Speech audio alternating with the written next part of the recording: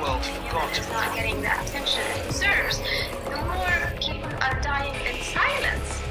For a conflict described by Amnesty International as the forgotten war, Yemen has found itself in an unusual place over the past week, in the news. The reason for that is the assault by the combined forces of Saudi Arabia and the United Arab Emirates on the port city of Hodeidah. The UN already calls Yemen the world's worst humanitarian crisis, and that port is where Yemenis get 70% of their aid supplies. While it's the Saudi led coalition that has waged this war from the air over the past three years, hitting multiple civilian targets, many media outlets describe Yemen as a proxy war, which is why you'll be familiar with the term Iran backed Houthi rebels. But how much attention has been given to the United States and the United Kingdom? Whose weapon sales and military assistance have enabled wealthy Gulf monarchies to wage war against the poorest country in the Middle East. For British and American journalists, that should make Yemen a foreign war with plenty of domestic angles. But you wouldn't know it from the kind of coverage and the overall lack of it. Our starting point this week is Hodeidah.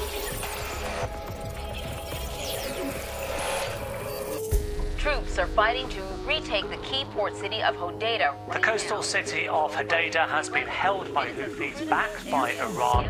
The return of the war in Yemen to news agendas has been long overdue. It took a new target, the port at Hodeida, to do it. They're trying to capture the city of 600,000 people, uh, putting their lives at risk, but also putting the lives of 22 million people at risk who depend on that aid coming from Hodeida. Yemen has always been a forgotten story. It's been extremely difficult for international media to go to Yemen. How can you tell that story if you don't have people operating in those areas? And that, for me, is the biggest challenge when covering the military campaign against the Houthis in Yemen. I don't think the lack of coverage uh, is explained by the fact that it's difficult for journalists to get into the country. When there's an airstrike on a school, or a hospital or a marketplace or a home. I can find pictures of that because people in Yemen take pictures of that. That's not the problem. The problem is a, an unwillingness to show the US or UK role in the conflict. The Shiite Muslim Houthis, supported by Iran. On the role of outsiders, one of the most skewed representations in this conflict has been the Western media's constant use of the term Iran backed Houthi rebels. Iranian backed Houthi rebels. Iranian-backed rebels in Yemen. Iranian-aligned rebels in Yemen. This began as a civil war, Yemeni against Yemeni, in 2015. Within weeks, the Saudis, leading a military coalition of nine countries, intervened and made it regional. One of their justifications was that Iran was supporting the Houthi side. There was little or no evidence for that at the time. However, as the war dragged on, Iran's involvement has grown. Still, the support Tehran provides the Houthis pales in comparison to the backing the Saudis and the UAE get from Washington and London. Between them, since the war began, the US and the UK have sold more than $12 billion worth of weapons to the Saudis alone, including some of the warplanes and the payloads they drop. The American military also provides mid-air refueling for Saudi and UAE aircraft and both British and U.S. personnel assist the Saudis as they target their strikes, hundreds of which have killed civilians. Warplanes from a Saudi-led coalition are taking off for Yemen.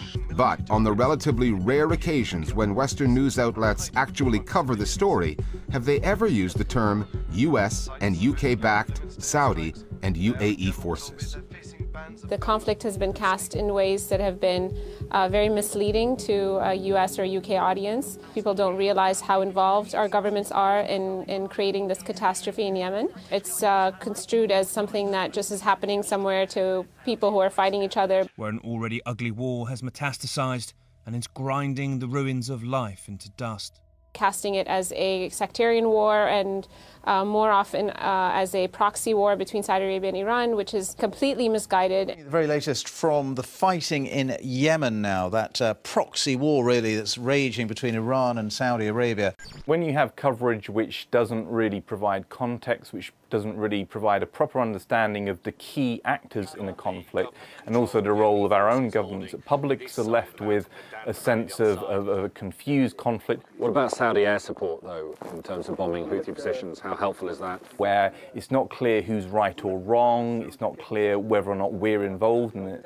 These are big political uh, economic and military relationships, which would cause uh, increasing degrees of public dissent if people were fully aware of what's going on. And you've got to remember there is a close relationship between government officials and, and journalists. About two million Yemenis. It's not just the journalists involved, it's the media outlets they work for. CBS's news magazine program, 60 Minutes, is an American journalistic institution now in its 50th year on the air. Last year, it produced an extensive report on Yemen, going where most of the U.S. media have failed to go. We have managed to get pictures out of Yemen to show you what the Saudi government does not want you to see. Documenting the humanitarian catastrophe and openly criticizing Saudi Arabia. The report was 13 minutes long, but there was not a single mention of the U.S. role in the conflict, the weapon sales, or the military and logistical support. Not one. MSNBC is a 24-hour news channel Americans consider to be on the liberal side of the political spectrum. In 2017, the network produced exactly one news report on Yemen. One. MSNBC had 8,760 hours of airtime to fill last year. The total time it devoted to the Yemen story and the American angle in it, 3 minutes and 7 seconds. Now, if you don't know what country I'm talking about, maybe that is because we in the American press don't cover it very much. The fact that MSNBC refuses to cover Yemen just goes to show you that support for the Saudis uh, and the Emiratis in the United States is, is not just a liberal or a conservative policy. The fact that journalists are not scrutinizing it more just demonstrates that in American media culture, it really is okay to devalue the lives of people in the Middle East and the people that the United States tramples on to obtain its policy goals. I also think that it's a really shocking failure of journalists to push back on the government's own narratives. Even apparently critical journalists on MSNBC um, become very reluctant to cover those issues. They mark out the boundaries of legitimate debate in a very significant way time and time again uh, when we look at media reporting of conflicts in the case of Vietnam and then really all the conflicts you have since then, the same pattern has emerged. So this is the biggest one you have? You bet. They are beautiful pictures of fearsome armaments. The liberal left not actually getting to the heart of the really important big issues when it comes to high foreign policy and war. There's a bigger picture at play in Yemen than most of the coverage from the outside world would have you believe. Broader power struggles that bedevil the Middle East. It's not just about Iran, ISIS, or Al Qaeda. Nor is the lack of coverage solely about the lack of access. There's more to it than that. And however you frame it, media outlets that give the story the short, simplistic shrift are letting their viewers, as well as millions of Yemenis, down.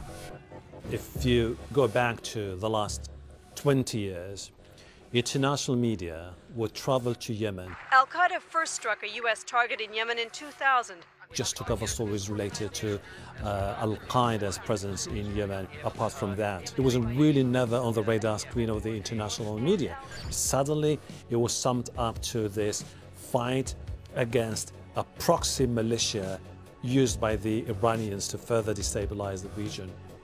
That's not true. We're 17, 18 years into a series of very major conflicts in the international system following 9 11. And these conflicts have been in a very significant way driven by Western governments and their regional allies. And really, it's, it's, very, very important that we now start to sort of encourage awareness and understanding that we're not observing a series of disparate, discrete conflicts and so on. We actually have a broader drive from Western governments and their Gulf state allies in order to shore up their control and influence in the region. This explains why people sometimes don't get the story. Why is this happening and who's backing who and what are the agendas there in Yemen? I've been covering Yemen for the last 15 years and people would always tell me the West does not care about us as Yemenis. they don't care anymore about Yemen.